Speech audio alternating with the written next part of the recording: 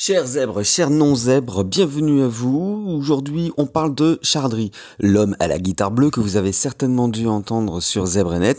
Il m'a accordé une interview juste après que euh, je l'ai rencontré dans une gare. Il m'a dit tiens, euh, écoute, euh, moi je vais, je vais, je vais dans une gare là. Est-ce que tu peux m'accompagner au piano? Ce que j'ai fait volontiers.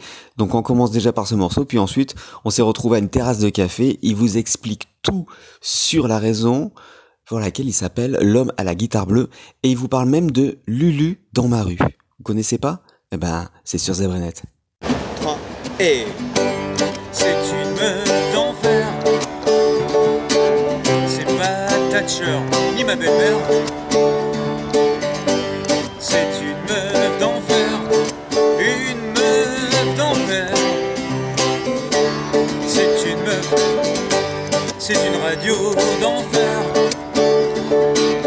C'est pas une radio ordinaire. C'est une radio d'enfer, radio d'enfer, extraordinaire. Merci Richard. Vous venez de l'entendre, en fait, euh, voilà, Richard, il est allé euh, tout simplement, euh, l'homme à la guitare bleue, pardon, euh, il, était euh, dans, une gare et puis euh, voilà, il fait ses chansons dans les gares. Les gens s'arrêtent, il écoute et puis lui il dit tiens venez me voir et tout, c'est sympa. et bon, bah, je l'ai juste à côté de moi comme, comme vous imaginez sur, sur Zebranet. Il va nous raconter cette histoire de, de, guitare bleue, de l'homme à la guitare bleue. Pourquoi tu te fais app- appeler comme ça en fait hein? Alors bon, l'histoire, elle est, elle est quand même assez longue, hein, mais je vais, reprendre du début. J'ai, euh, alors je suis resté 9 ans avec une femme euh, qui euh, un jour m'a offert une guitare bleue. Voilà, mon ex m'a offert une guitare bleue. Et puis j'ai j'ai commencé à faire des formations à Paris pour, pour essayer de me faire connaître dans la musique et pour, pour m'améliorer. Et de là, quand, je leur, quand je chantais une chanson dans ces formations, les gens, quand ils me. Quand ils, voulaient, re- quand ils reparlaient de moi, disaient Mais euh, tu te souviens de Richard? Mais Richard, Richard qui? Mais si, tu sais, le mec avec la guitare bleue là. Et puis à force, euh, à force, je me baladais aussi dans les rues de Paris avec la guitare. Et puis euh, les, les enfants, les, les adultes et tout ça me voyaient de loin. Et, et je les entendais parfois me dire Eh, T'as vu, c'est le mec à la guitare bleue, l'homme à la guitare bleue, il est là-bas. Et un jour, je me suis dit Bon, bah, si jamais tout le monde m'appelle l'homme à la guitare bleue, en réalité, je vais me faire appeler l'homme à la guitare bleue. Et maintenant, quand je dis ça aux gens, je leur dis que je m'appelle à la guitare bleue. Ils me disent Bien, c'est tellement évident. Bah ouais, ouais. Et pourtant maintenant elle est bleue turquoise, c'est quoi cette Ouais. histoire Elle est bleue turquoise Alors, Non mais que- là t'as mytho en fait, voilà, c'est- pas vrai, elle est pas bleue ta guitare. Elle est bleu turquoise, ouais. Qu'est-ce qui s'est passé? Alors ce qui s'est passé c'est que euh, j'ai... euh, bah voilà, bah, après j'en ai plusieurs. hein. Mais, euh, Sur la guitare mais oui, j'ai plusieurs guitares bleues. Bleue, forcément. Oui, oui, c'est que des guitares bleues. bleu, ouais. Non mais qu'est-ce qui s'est euh, passé? Elle est, elle Bah, est ce qui s'est passé c'est qu'à un moment donné, là la der- la- l'avant-dernière que j'ai eue, on me l'a volée. hein, on me l'a volée dans un, dans un bar parisien. Donc euh, Ah. ça arrive, hein, tu vois, il y a encore des voleurs. hein. Non mais tu t'as laissé la guitare, tu Je l'as l'ai pas, laissé longtemps et puis il y a quelqu'un qui. Euh, j'ai pas laissé, tu vois, j'ai juste euh, détourné euh, le regard 5 minutes et puis et puis il y a quelqu'un qui est parti avec. Donc j'en ai racheté une autre, celle-là elle est turquoise. Puis là je suis en train justement de, de réfléchir en racheter encore une autre d'une couleur euh, plus bleu, euh, bleu clair. euh, enfin voilà que des guitares bleues quoi. Alors ton style c'est euh, comment euh, Parce que voilà, en, en ce moment on est dans l'électro, Ouais. en ce moment on est dans les musiques, euh, moi ça me déprime en fait. Ouais. Et toi tu as choisi euh, l'acoustique déjà dans un Ouais, premier temps, parce que c'est plus facile j'imagine. C'est plus facile, non, c'est pas que c'est plus facile, c'est que euh, c'est en même temps c'est mon style. hein. J'ai- J'aime bien le- la, la musique folk. euh, J'aime bien d'ailleurs aussi la musique country. Tu sais, j'adore la musique country. Bon, et puis Bob Dylan, euh, tu vois, tous ces chanteurs-là, pour moi c'est quand même des influences. euh, Alors j'aime bien Hugo Frey aussi, tu sais. Ouais. J'aime bien Renaud, j'aime bien Hugo Frey, euh, j'aime bien. euh, T'aimes bien les feux de camp quoi aussi. non mais euh, et puis j'aime j'aime Cabrel. J'aime ouais j'aime bien la chanson comme ça où, où t'as euh, euh, la musique euh, qui, qui est en avant mais les paroles aussi quoi. Ouais, Que c'est pas forcément. Ce qu'on appelle les, les, Les chansons à texte. en, en anglais Ouais et les auteurs-compositeurs. Ouais, c'est ça, c'est ça. C'est ça. Et après, bon, j'adore la musique urbaine, hein, tu vois. Et d'ailleurs, je me rapproche énormément de, de- de groupes de rap, de choses comme de, de- tu vois, du rap, euh, même euh, un peu R&B. Enfin bon, après tout dépend, tout dépend les rythmes. Mais il y a des rythmes qui me plaisent bien. Il y a, euh, il y a du bon dans tout en réalité. Il Mm. faut juste en réalité trouver les, les personnes avec qui tu t'entends vraiment, mais c'est le cas de le dire, quoi. Il faut s'entendre. Ouais, c'est sûr. Alors, euh, tu sais que tu es programmé hein, sur euh, zebranet.fr. Ouais, génial, je te Euh, remercie beaucoup. Toutes C'est les super. heures. Toutes les heures. on Ouais, c'est peut génial. entendre, euh, Alors, est-ce que vous vivez votre vie? Voilà, c'est ça, c'est la vraie question maintenant. On aimerait savoir sur ZebreNet. voilà, hein. tu, dis ça, que tu- tu dis ça parce qu'en fait, c'est le, le titre de la chanson qui passe Voilà. sur. euh, ce- Ouais, c'est pour- Vita Vie. Pour les personnes qui nous rejoignent et qui ne connaissent pas encore ce titre, c'est euh, Vita Vie. C'est venu comment euh, cette. euh, Alors cette chanson, euh, Elles sont cons mes questions, mais c'est. Non, non, non, on- mais t'as- raison. on est tout le temps dans, dans, dans l'histoire d'une- chanson, parce qu'une chanson, c'est jamais, euh, c'est jamais anodin en fait. Quand, Ouais. on écrit. En tout cas, quand on est au- auteur-compositeur, c'est jamais anodin. bah celle-là, c'est pas du tout anodin. hein. C'est pas du tout anodin. C'est que à un moment donné, euh, euh, je me suis dit si je devais écrire qu'une chanson, j'écris depuis euh, depuis l'âge de 14 ans. Donc bon, aujourd'hui j'en ai 37. Euh, tu vois, ça fait 23 ans que j'écris des chansons. Et puis à un moment donné, je me suis dit à force d'écrire, écrire, écrire, je remplis des tiroirs entiers de chansons. Mais si je devais en écrire qu'une, j'écrirais laquelle Et puis j'ai pensé à ça. Je me suis dit j'aimerais bien dire aux gens. euh, euh, et dans la rue et partout, euh, vivez votre vie, quoi. Vis ta vie, fais tes choix, parce que il y a tellement de gens sur Terre, d'ailleurs c'est ce que je dis dans la chanson, mais c'est vrai, je, crois qu'il y a tellement de gens, à la force de les observer, qui sont malheureux dans leur vie et qui, qui, euh, qui assument pas leurs rêves, quoi. Ils ils les- les réalisent pas parce que ils ont peur de parfois de, de pas grand chose, tu vois. Ça vient aussi de ton éducation, ça vient de, de ta, ça peut être de ta famille, d'un ami, euh, euh, des, euh, parfois tu gardes des rêves euh, enfouis comme ça à l'intérieur de toi et puis tu n'oses pas les exprimer. Et puis euh, Alors moi, tu me bluffes en fait, parce que t'as une guitare bleue, t'as un chapeau, euh, t'as les cheveux longs et t'as t'as- t'as la barbe. Ouais. Le regard des autres, t'en as rien à faire, toi. Euh, tu sais qu'on en parle beaucoup sur Zabrenet de tout ça, parce que le regard des autres, c'est Ouais. justement ça qui empêche de vivre sa vie généralement. Ah parce bah oui. que Il faut assumer ses choix, Bah il faut c'est assumer ça. ce qu'on veut faire. Toi, t'as jamais été confronté à ça? Non, non, non, jamais. Fait Mais je pense que, euh, je sais pas, euh, c'est depuis que je suis tout petit, je suis comme ça. En même temps, la différence, euh, la, la différence, je l'ai toujours perçue chez les autres aussi. Euh, euh, en fait, on est tous différents. On doit juste ça, réussir à un c'est- moment ça, C'est donné. une phrase de t-shirt, ça, on s'en fout, euh, c'est pas ça le problème. Non, on mais- est tous différents, d'accord. Mais non, mais euh, bon, la phrase de t-shirt, c'est aussi euh, comment est-ce que toi, n'essaie pas d'être quelqu'un d'autre parce que ils sont, tous- tu vois, tout le monde est déjà pris, quoi. Oui, oui, C'est, mais comment, comment est-ce que toi tu arrives à, à dépasser ce, ce- ce- Tu te sens jamais jugé euh, parce que ta musique, par exemple, euh, n'a rien à voir avec tout ce qu'on entend. Donc comment est-ce que tu dépasses ça Mais je crois que tu sais, ça commence d'ailleurs par l'enfance. C'est que euh, quand j'étais petit et que j'ai commencé à faire de la musique, comme euh, plein de, de- de parents euh, le disent à leurs enfants, ils m'ont dit c'est pas un métier, tu n'y arriveras jamais. Enfin pas tu n'y arriveras jamais, mais, c'est pas un métier. Tu peux pas faire ça. C'est euh, et puis euh, et puis j'ai été têtu. Je me suis dit mais si c'est un métier, si je vais y arriver. Et puis à force de de, de me battre, on va dire, euh, avec, avec, euh, avec les autres pour, euh, pour assumer mes rêves et puis avancer, bah, à un moment donné, euh, à un moment donné, justement, tu te dis mais il n'y en a rien à faire de ce que pensent les autres. Ça. Euh, je, je, je vais, je vais vivre mes rêves, quoi. Voilà. Et puis, puis après, tu sais, j'ai eu la chance de rencontrer, de rencontrer Jacques Higelin quand j'avais 19 ans. Et puis c'est quelqu'un qui était très libre, Jacques Higelin. C'est quelqu'un qui justement, il a une chanson où dedans il dit euh, Je vis pas ma vie, je la rêve ». Et, euh, et, euh, et à, à force de rencontrer des gens aussi qui euh, sont capables de vivre leur vie, Ouais. tu te dis pourquoi pas toi en fait. Mais tu as souvent rencontré des personnages atypiques qui étaient hors du système. C'est vrai, ouais, c'est vrai, ouais, ouais. Ouais, c'est vrai, mais parce que. euh, Vous aurez vu le regard de Richard, c'est Ouais, c'est vrai en fait. Je m'en suis pas rendu compte. Non, je m'en suis pas rendu compte. Je m'en suis pas rendu compte, mais après, c'est quoi être hors du système Tu sais, euh, on y est tous parfois euh, un peu hors et puis on en revient. euh.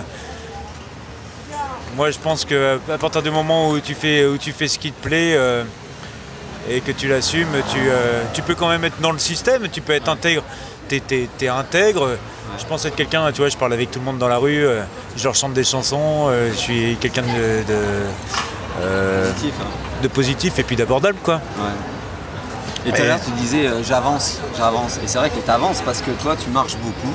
Ah oui, je marche Et comme tu énormément. marches ouais, avec, ouais. Ta, avec ta guitare, Ouais. tu fais des rencontres. et- Improbable, et- tout le temps. Et la, et la rencontre, euh, la rencontre qui, va, qui, qui est en train de changer ta vie. euh, Ah oui, oui, quoi, oui. En fait? Tu, tu Alors, parlé tout à l'heure. Alors changer ma vie, en Non, tout cas ça fait changer, partie. En tout cas, il y a, il y a- il y Bah, a un avant et un après. Ouais, ouais, c'est ça. c'est- Il y a quelque chose. euh, Il y, a- il y a des hasards, euh, comme je le disais tout à l'heure. Il y a, des chances parfois dans la vie comme ça. Et puis après, il faut savoir oser. hein. C'est justement ça le, le plus important. Euh, on le dit jamais assez qu'il faut savoir aussi euh, oser aller vers les autres. Et puis euh, quand tu as une idée, euh, essayer de, de, de, de proposer. Ouais. Pro- pro- oser. Voilà, Tiens. proposer, ouais. ouais. Et euh, en son nom propre, quoi. ouais, c'est ça. Et, Alors, et tu donc, te balades comme ça. et d'un alors je me balade comme ça et puis. euh, Tu tombes Et sur puis un à. Paris, à Paris, je suis tombé sur un camion bleu. Un Voilà. camion bleu, je me dis c'est quoi ce camion bleu qui se balade dans Paris? Moi je me suis j'ai une guitare bleue et lui il a un camion bleu. C'est quoi ce Donc truc? euh, c'est quoi ce truc? Alors Voilà. je comprenais pas. Et euh, je vais le voir et je lui dis euh, je lui dis voilà, euh, j'aime beaucoup ton camion, est-ce que je peux prendre une photo euh, juste devant avec toi euh, euh, avec toi et tout, allez viens on fait un selfie. Et puis on fait le selfie. Et dix minutes après, je me rends compte que je suis en train de parler à un, un nouveau euh, concept qui est en train de se monter à Paris qui s'appelle les Lulu dans ma rue. Et Lulu dans ma rue, en fait, c'est un service d'entraide. C'est une conciergerie de quartier. Euh, c'est des kiosques en fait qui font conciergerie de quartier qui se trouvent euh, à côté de certains métros parisiens. Certaines stations de métro, je veux dire parisiens. Stations de métro parisiennes, ouais. Et donc, j'ai, euh, je les ai rencontrés et euh, j'aurais écrit une chanson. J'aurais écrit l'hymne des Lulu dans ma rue. C'est-à-dire que dans la, dans la chanson, j'explique euh, ce qu'ils peuvent faire pour, pour aider les autres. Qu'est-ce qu'ils peuvent faire? Alors bon, la chanson, ça fait si tu as besoin de quelqu'un pour, pour aller promener ton chien, si tu as besoin d'un tuyau pour fixer ton lavabo, si tu as besoin de, d'un coup de main pour aller chercher ton pain, ne cherche plus, Lulu est dans ma rue. Ok, Tu vois. sympa. Et, euh, et donc voilà, donc euh, les Lulu dans ma rue, euh, C'est un service d'entraide c'est un la service d'entraide à la personne. Ouais, ouais, voilà. C'est euh, et donc euh, ça fait énormément de bien à la, à la société, euh, à la vie de quartier. Et c'est venu comment cette histoire tu, tu les as rencontrés, ils t'ont expliqué le concept, euh, d'où ça vient? Alors ça vient de, alors euh, euh, comment le, créateur des, des Lulu dans ma rue s'appelle Charlie. Et euh, donc comment c'est venu bah, En fait, il s'est rendu compte que euh, il y avait, des, auto-entrepreneurs et en même temps des, particuliers qui, avaient besoin de services. Et donc il met en lien, il met en lien les auto-entrepreneurs avec les particuliers. Et Tu parlais d'Emmaüs tout à l'heure. Oui, en fait, il a aussi créé Emmaüs Défi. D'accord. Euh, Charlie, donc les- le, le- le- le créateur de, des Lulu dans ma rue, est aussi le créateur de, de- d'Emmaüs Défi. ouais. D'accord. En fait, ça a été la continuité d'Emmaüs Défi. Voilà, quelque c'est ça. Il s'est rendu compte qu'avec Emmaüs Défi, il y avait des choses qui qui n'étaient pas faisables et que c'était euh, chouette de, euh, de proposer euh, un concept comme les Lulu dans ma rue. Enfin bon, ils ont essayé hein, et puis ils se sont rendus compte que c'est quelque chose qui fonctionnait bien. Et, euh, et les gens sont satisfaits. Je crois qu'il y a 50 000 personnes qui utilisent, euh, qui, euh, qui font appel aux Lulu dans ma rue. Et il y a 300 Lulu pour l'instant. Alors dans quelques, dans quelques mois, dans quelques années, c'est quoi ton rêve? Quel est Bah, c'est que toujours- tout le monde vive leur vie. C'est toujours difficile de se dire oui, dans 5 ans je me vois là. Mais toi, s'il y avait vraiment un truc dont tu avais envie là, ça, ça serait quoi? Voilà, j'aimerais bien. J'aimerais bien. Tu sais, j'ai lancé cette idée sur internet. C'est un peu bête, mais euh, j'aimerais bien faire l'Olympia. Ah, Ouais. pourquoi Alors, c'est bête hein Bah, c'est un peu bête parce que c'est, euh, c'est euh, comment dire. euh, euh, Tu sais, il y a des grands artistes qui l'ont fait, mais il y a aussi des, des- des- d'autres personnes qui, bon voilà, c'était pas forcément. bah, je, je- je sais le prix que ça coûte pour le louer, hein, l'Olympia. Ouais, C'est, c'est environ 25 000 euros. ouais. Donc, euh, mais c'est vrai que depuis un moment, voilà, je me dis ça, bon, un petit rêve comme ça euh, que j'ai en tête depuis un moment. Si je pouvais faire l'Olympia, puis même d'ailleurs faire l'Olympia avec mes amis, avec des amis chanteurs, euh, des copains avec qui je fais pas mal de coplateaux à Paris, et qu'on se retrouve euh, tous à l'Olympia et qu'on se fasse une, une- une bonne soirée, quoi, un bon bœuf là-bas. Voilà, c'est.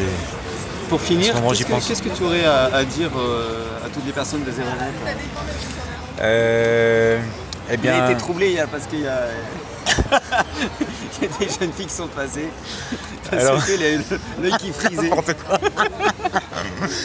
euh, qu'est-ce que tu veux Non, non, je te mets à l'aise, vas-y. Qu'est-ce que tu veux savoir? Et Non mais qu'est-ce qu'est-ce que tu aurais à dire à toutes les personnes qui écoutent Zébranet Parce que ce sont des personnes qui se sentent exclues puisqu'ils ont euh, une façon de, de penser différente. euh, euh, ils ne sont pas trop adaptés à cette, cette société. Il y a beaucoup de- d'enfants et de, de- de parents euh, dyslexiques, dysprasiques, dyscalculiques, de tout- toutes ces, ces espèces de maladies euh, dites euh, à la mode.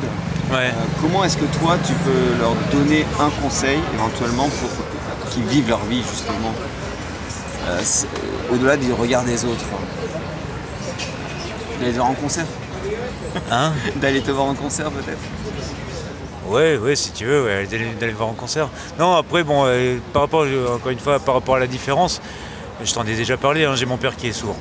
Donc, puisque mon père est sourd, euh, d'ailleurs, c'est, j'y pense maintenant avec le. à, force de, parler avec toi, je suis en train de me dire qu'en fin de compte, c'est, peut-être aussi ça qui, fait que je fais pas du tout attention au regard de l'autre. Parce que le regard de l'autre, je l'ai déjà vécu avec mon père étant petit. Et euh, je voyais comment les gens euh, pouvaient juger euh, quelqu'un qui. qui pas tous, hein, heureusement. et- mais il y a des gens qui, à un moment donné, se disent Ah, c'est malheureux, il est sourd, ah, c'est malheureux, ah, pour les enfants. et puis, ils ne regardent pas comme les autres, quoi. Tu sais, il y, a le- y a le regard, il est vraiment différent. Alors, à force de le voir, je pense que c'est devenu naturel et puis ça me choque plus maintenant. Euh, je trouve que euh, c'est pas. Il est différent, c'est vrai, mais c'est une force au fond. Il est. Voilà. Faut, faut faire de nos différences une vraie force. Donc ton On père est est juste pas comme tout le monde, ouais. Et toi tu fais de la musique. Ouais, ben, je te dis. Donc c'est même d'ailleurs pour ça. C'est même d'ailleurs pour ça que cette chanson Vite ta vie résonne encore plus parce que mon père n'a jamais pu me dire ça. Est-ce n'a que- jamais pu me dire vite ta vie. Parce qu'il il peut pas, il peut pas savoir ce que c'est que la musique. Tu vois? Il a aucune notion. euh, il me voit avec une guitare, il sait pas ce que c'est qu'une guitare. Il me voit juste avec une guitare. Il voit qu'il y a des gens autour de moi. Il se dit seulement que euh, ça doit, c'est un peu, un peu comme la famille Bélier. Il, doit- il se dit que, à mon avis, je dois sûrement donner du bonheur aux gens parce que il voit les gens rire autour de moi. Mais Tu lui en donnes à lui un peu? Oui, bien sûr, bah oui. Et puis en fait, je fais aussi du chant signe. C'est-à-dire que je fais du chant avec la langue des signes. Ah, Comme la famille Bélier, Ouais. tu sais, comme le. Donc, euh, Florent Pagny aussi qui avait fait ça dans. Florent. Pagny, ouais, voilà. Florent Pagny l'a fait la première fois. Ensuite, c'est euh, c'est Louane avec, euh, avec Je vole. Et puis là, en ce moment, je suis en train de. Je suis en train d'essayer de monter tout un spectacle euh, en langue des signes. Bon, bon, affaire à suivre alors. Voilà. C'est l'instant promo, Richard. Enfin, l'homme à la guitare bleue. Oui, alors faut venir me voir en concert. Alors, euh, où c'est qu'on te retrouve? Parce que là, si jamais on donne euh, la date, comme ça va passer tout le temps sur Zermanet, ça sera Ouais. passé après, parce que ton interview, elle va, elle va rester. Ouais. Euh, où c'est qu'on peut te retrouver? Sur Facebook Est-ce que tu as un site internet? Bah, sur Facebook, euh, en tapant l'homme à la guitare bleue, tu me trouves. sur Instagram aussi. Sur Snapchat, alors il faut pas taper l'homme à la guitare bleue sur Snapchat. Sur Snapchat, il faut taper guitare.bleu. Tu tombes sur moi, c'est pareil, tu vois, tu vois un, un petit bonhomme avec un chapeau, donc c'est moi. Et puis, euh, et puis après, euh, bon, dans Google, hein, Google, tu, tu me trouves aussi. euh, sur Internet, hein, c'est assez facile de me trouver. Puis après, dans Paris, hein, ça dépend des jours, dans une rue par-ci par-là. Dans les autres villes Et dans les autres villes parfois, ouais, ouais, ouais. Ça. Bah, là pour l'instant, pour l'instant, bon, je vais, j'ai pas mal de concerts à Paris, donc je suis là pour quelques temps. Mais euh, bien sûr, après, euh, après, euh, je suis quelquefois, je suis originaire de, d'Amiens, tu sais, donc j'y suis pas, pas mal aussi. Et voilà. Il s'appelle L'homme à la guitare bleue. Vous pouvez le retrouver sur Facebook, sur Twitter, sur Snapchat, un petit peu partout. Et peut-être bientôt dans votre, dans votre rue, dans votre ville. Euh, moi, je vous conseille de, bah ouais, de, de- de l'écouter si jamais euh, vous le croisez, puis d'aller le voir. Il est super sympa. Et euh, passer un bon moment avec lui. Merci d'avoir été là. Et puis, Merci beaucoup. et je vous dis à bientôt sur zebranet.fr. N'oubliez pas, vous êtes des indomptables. Salut